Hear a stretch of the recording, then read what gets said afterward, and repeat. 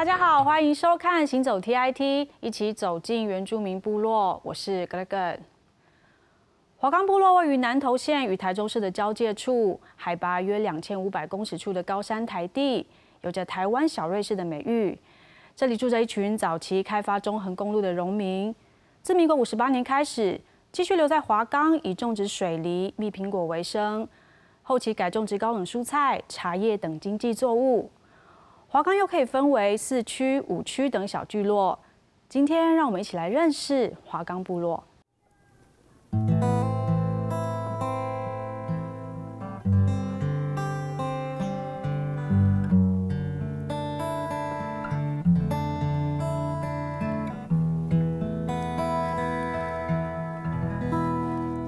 翠华村的行政区就有分翠峦部落跟马丽光部落。然后还有华冈地区，就是有分市区跟五区，还有华冈。对，这个就是我的行政区域。大概以八十九线公路以下到翠峦部落这个范围，大概都是以茶为主要的那个一个种植啊。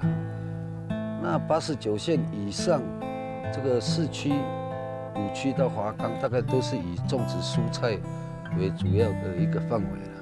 假如四五区是怎么分呢？呃，你像我们对面现在看到那个那个地方就是市区，那我们现在所站的就是五区。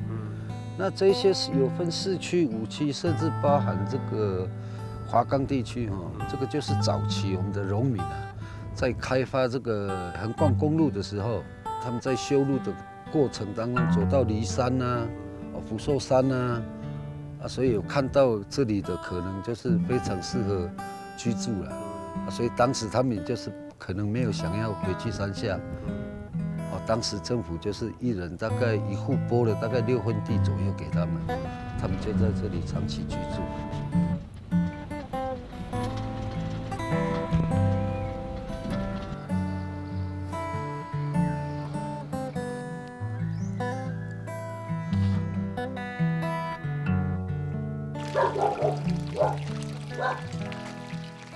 以你妈妈也是翠峦翠峦的。我们刚刚沿路看到有一个什么庄什么庄，他们怎么分的？他们那个就是以以前他们要反攻回去嘛，嗯，他就写复兴中华，成功胜利，他们就这样子的庄的名字。像福寿山那边就是以汉庄啊、唐庄怎么他们去分的。哦，刚刚那个姐姐有讲哦，她说以前的农民是。单身是五分，然后有眷属的话就是七分半，七分半的。对对。华冈地区大概以我们选举人数是一百多了。总人口呢？对，总人口的话可能不止啊，因为有的户籍没有设在这里。嗯。因为有的户籍可能设在外面，因为他们这里租地，这边租地的，有的是户籍在这里。那有的户籍是没有迁迁进来，像你这样的二代留在这边种的，也没有多少，没有几个了，他大概都租租租出去了，他们大家都在平地自己做。哦。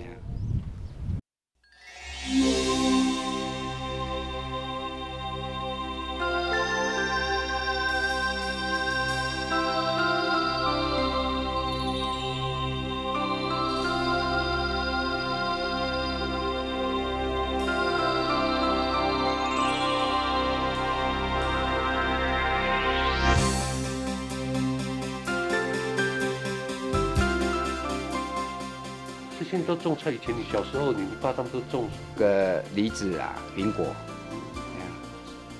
是后来是人家在底下种嘛，种菜，后来看看哎菜还比较好，一年几期，果树只有一年一次嘛，干脆就砍掉种菜啊。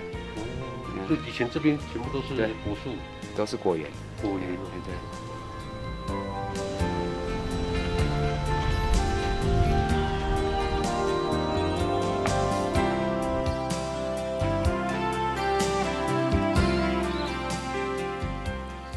早期像这种水泥的，大概矮平房，这个早期都是农民农民住的，可能很久没有人住了，啊，所以他地可能是租呢还是卖，我不清楚了，啊，所以可能人家这里就打掉了。他以前他们老农民哈，大概都我的印象当中都两三户，就大概两一个地方大概两三户，一个地方两三户这样。对，那华冈华冈那里的话，它就是以庄，它就是大概五六户啦，四五户，它就是一个庄。那大概四区五区大概都是两三户一起，两三户一起的，它没有集中。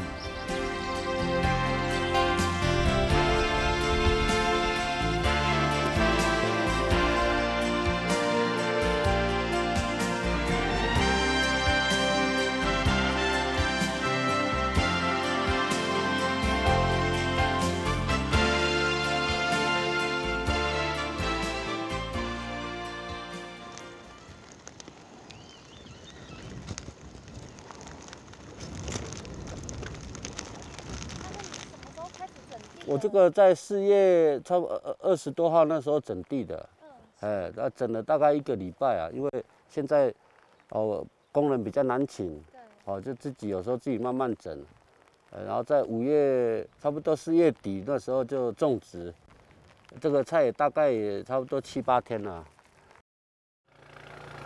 一早起来比较冷，哎，其实这个只有茶园比较好用，茶园对。在菜园就不大理想。哦，对我这个送肥料跟上去喷水的时候，像大蒜都是卖不出去的哦，丢掉的啊。那个大蒜有没有？拔掉丢掉的啊。这边是收成最好的是什么呢？呃，不一定呢，真的这个就是有时候台风来。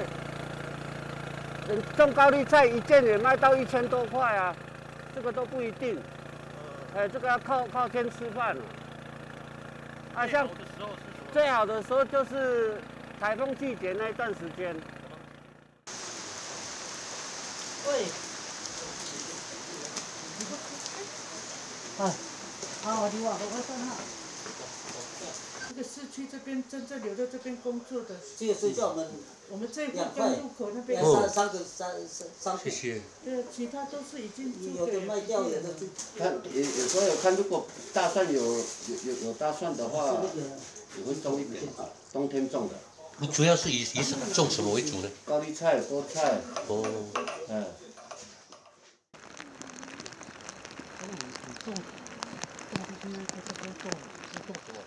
我这个茶园是海，现在目前翠翠兰茶里面最高海拔的茶。哦。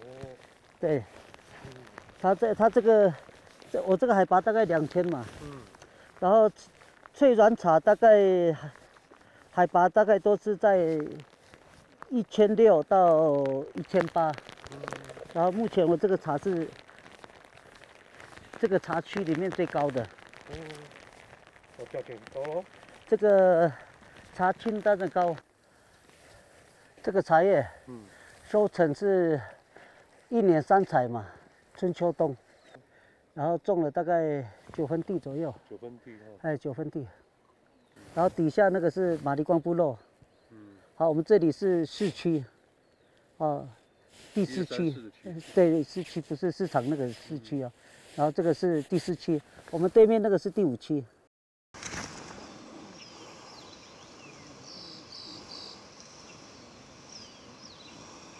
大概在五六十年，民国五十年、六十年，这边大概都是水果，然后又有人种苹果，然后但是交通不好，都是有时候水果就是要运到很远地方嘛。哦，时代在不断的改变呢，然后我们就开始在七十年的时候就开始种菜。七十年。对，然后种到大概一百，也是也是种了大概三十年的菜。嗯。哎。面临的问题，像种菜哈，就是都要运出去，要靠靠卡车嘛。然后最大的问题就是交通的问题，包括这个头八九线，哦，这个头八九线哦，现在很多地方在坍塌嘛。然后有的是没有说没办法说马上就给它处理掉，哦，然后有的已经都处理好处理好的很多了，但是新垮的又有，哦，那个就是运到外面的交通的问题是最大的问题。就是因为九二一地震之后，那个可能土质松松动，然后又在呃七二水灾，整个路都瘫痪了。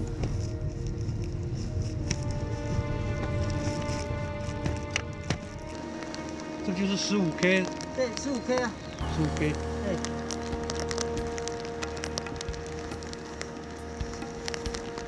这水在淋上来，是那个雾散的话比较清楚。什么时候开始摊的？这个今年的两个月以前，两个月前。对，所以我们两个月当中，我们都是往东方向的。然后这个如果有开通，我就往这里。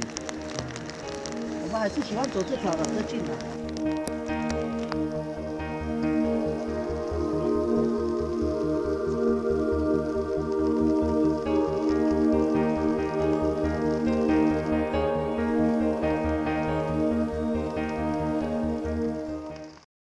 华冈隔着合欢溪与花莲为界，有着得天独厚的自然环境。随着农民色彩的褪去，加上土地的产权更迭，继续吸引新一代的移民进驻。然而，面对柔长寸断的例行产业道路，一旦遇到道路的塌方，翠峦、华冈的居民都得绕道通行。休息一下，再带大家一起来探讨头八九例行产业道路的回顾与展望系列报道。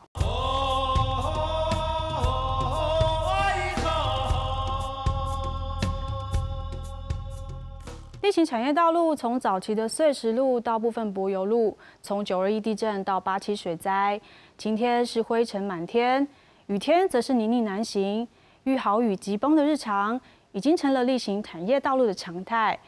例行产业道路通车迄今已满五十周年，因为一直无法提升道路权责的位阶，导致养护资源的限制，也使得管理上挚爱难行。公部门及相关单位要如何面对例行产业道路的问题？请看接下来的报道。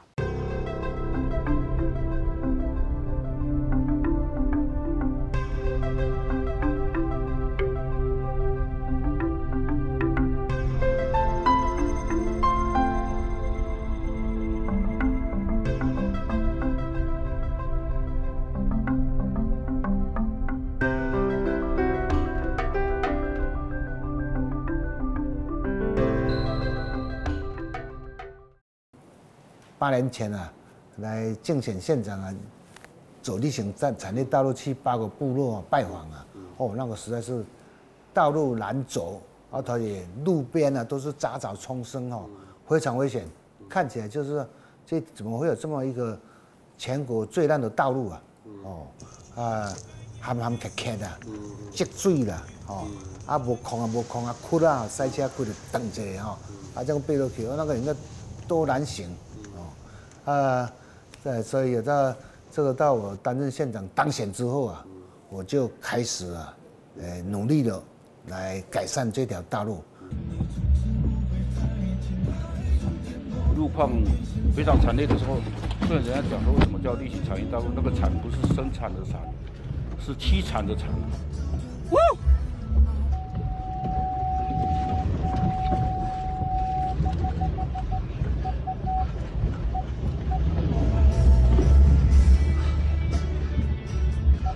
县长在第一任的时候，我们带他去走这条路的时候，就刚好碰到一个住在后山的人，回头就跟县长讲，全世界最烂的道路就是在这里。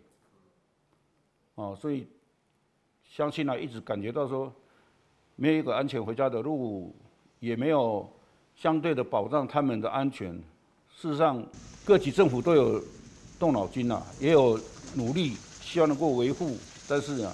这个面对现实的问题啊，不是人力可以克服的。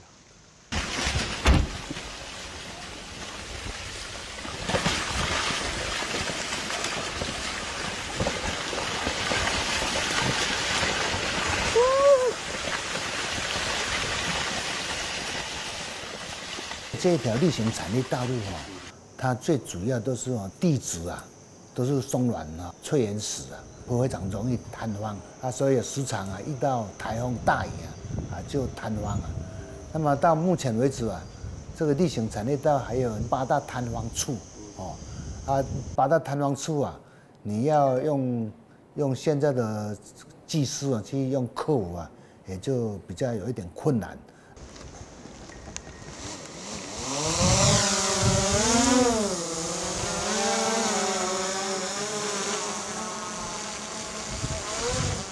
八大喷探器它最主要就是上边坡滑动，如果有台风、豪雨的时候啊，它上边坡的那个土石就很容易崩落，连带的会影响到我们下片坡路基的那个掏空及坍滑。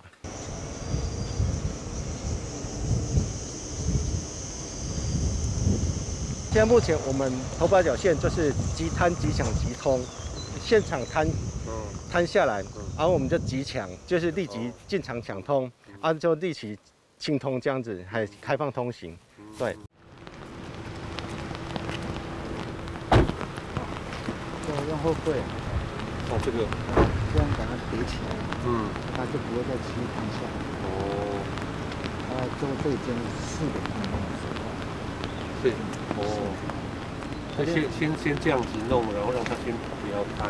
对对对，可以开始永久，永久这这种功法是是跟一般的这种操作是不一样。不一样不一样不一样。嗯。这样。哦。嗯。前这个话，这个可以吊起来。嗯。就这样子，这样子把它换一个，把它吊起来，然后把那个那个鱼机的话牵掉，嗯，然后就放下去就很安全。哦。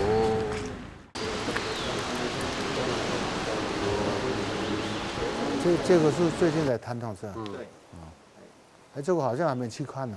嗯，对，这个现在这个摊方的哈，就就是去年呢，去去年摊方的，哎，啊，现在就是哈，我们先，他摊这边摊掉了哈，啊，我们再再再往上面，他他原来啊这这边没有在持没有办法再修复嘛，嗯，哦，我们就是往上面再边坡啊，再挖道路，哦，再挖从边坡再挖，然后挖下去之后啊。它它这个比较陡啊，所以我们就用喷浆，啊，全部啊用这个把它喷浆喷起来。它现在已经这条都这个已经施工完成了。这个是上个礼拜二，上礼拜二，上个礼拜二的凌晨大概三点多。哦，对，是这户人家讲的，他是三点多听到嘣一声，以为以为是打雷啊。哦，下那时候也下雨。对，也是下雨啊。因为那技师跟我讲是大概两个月吧，先暂时这样，因为因为现在算出菜期，出菜比较多嘛，那你做的话会影响大家的运输啊。这样一次再可以再几片。到哪里？我想哪里了？那么急哦。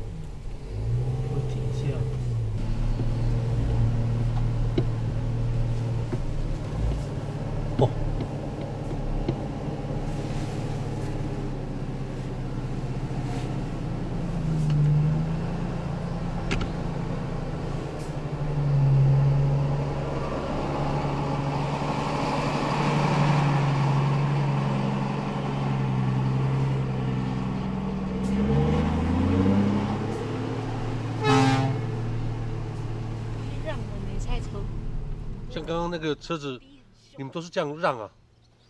那没办法，你在你你你在下坡，他上坡，我们要让啊。不是我说那么陡，他怎么开始上来？对啊，他就是没没办法，因为他这个菜应该是在这个上面这边载的，他不能哦，在市区。对，因为那边还不好过嘛，他那个有没有高低落差？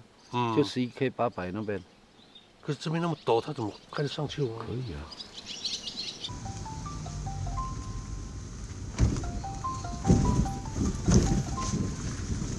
十一 K 那个。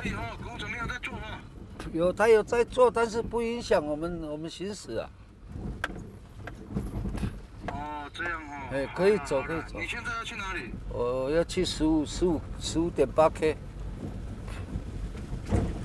好好。哎哎，哦。那里可以了，可以走。好好，谢谢了。好，我有一个四百多个人的群组，是头八十九群组，每天都在那边讲说，我们这个呃从池峰到例行的路有没有通啊？哦，雾社到例行的路有没有通啊？然后特别是最近梅雨季节，我看到我们的翠兰村的村长那个高正光，几乎每天都去看灾，只要下大雨有塌方有落石。然后就通知他们说，哎，这个路现在不能通，啊，过的时候要要特别的小心。所以几乎是我们的人住在那边的，都生活在恐惧当中了，啊，没有安全感。部长，我们刚才谈什么先期路网建设啦，哦，还有那个什么捷捷运呐，这个有没有有没有想考考虑到我们偏乡的道路？有有有，有没有办法就是高架的？哎，对，当然可以，但是经费是非常高啦，真的是这样。哎，你们在平地都花了那么多经费，国道五号、国道六号、国道四号，比如那我们我们现在沿乡地区，你花一点钱有什么关系啊？前瞻嘛。孔伟，我跟你报告，拜托陈市长，你是唯一去过例行产业道路的，而且住在那边的华冈、翠峦这几个村啊，真的很可怜。所以这个例行产业道路啊，啊，争取了好多年了。呃，这个在我在立法院十七八年来，几乎每一次都都会谈到例行产业道路。可是呢，那个我们呃中央啊，我觉得他的支持的这种力道跟关心的程度啊，还是不够了。对，我觉得应该是这样哈，比较好的做法应该是你要彻彻底做一个体检，啊，彻底做一个体检，就是说我。我要达到，比如说啊，就是我们一般啊，至少要达到省道的标准嘛，啊，不要说县道，省道的标准才可以，就是说，呃，这个这个就是说，就大家会比较安全。对，你达到省道的标准，那你就说，哦，我达到省道标准，那我哪些路段是，就是你可能要分阶段，对不对？有些东西特别危险的先做，然后你你因为你逐年编预算啊，然后慢慢把它提升到，比如说分三年到五年把它提升到省道的标准。最好的方式啊。我认为说，从翠兰分校后面那条路走北港西线，一直到红乡，红乡之后再往后取代到就到瑞野，打通这个惠春林场，再接着投八十线往高速公路，甚至于直接到我们我们讲的那个这个吴信啊交流道那边啊，就可以直接上去了。